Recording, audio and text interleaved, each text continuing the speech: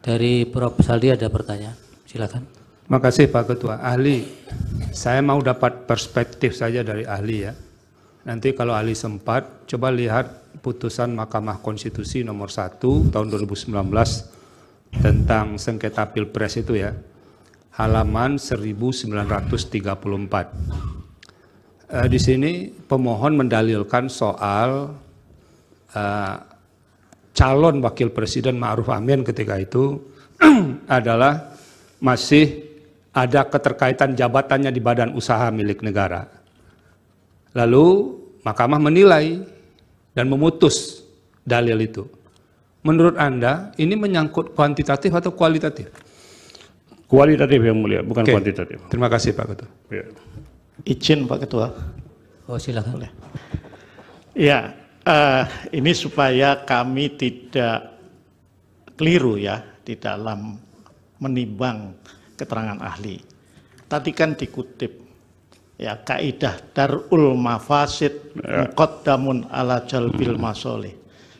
Saya ingin tanya dulu, yang mafsadah dan maslahah itu yang mana terkait dengan apa yang dimohon? Apakah kemudian menolak permohonan atau menerima permohonan? Baik. Yang mana ini, Mas? Baik. Itu yang pertama dulu. Ya. Yang kedua tadi juga terakhir dikutip ya kaidah ma la yutraku kulluh la yutraku kulluh. Saya ingin tanya juga, lah kalau kaidah ini diterapkan, apakah ini tidak berarti kalau mengabulkan sebagian, kalau menolak juga sebagian? Apa kira-kira penjelasan supaya kita nggak confuse ini memahami Iya. keterangan ahli. Terima kasih. Ya, yang namanya kaidah itu sama dengan teori yang mulia. Kalau usul fikih itu azas prinsip.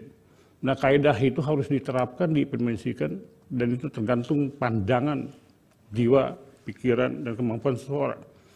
Nah, dalam kaitan ini, yang mana yang didahulukan? Para imam masa berbeda pendapat tentang ini. Bahkan antara Imam Syafi'i dengan Imam Malik dengan Imam Hanafi itu berbeda pendapat lama, pendapat baru, kol kodim, kol jadid, yang disinggung pernah Mahfud. Itu ada di situ. Tapi terkait dengan ini, malah yurar kukuluhu, la yurar kukuluhu. Itu menunjuk kepada adanya kemanfaatan yang mesti diambil dan tidak bisa ditinggalkan. Tetapi harus terhubung, apakah ngambil manfaat itu menjadi kemungkaran? Ada mafsadat, ada mudarat.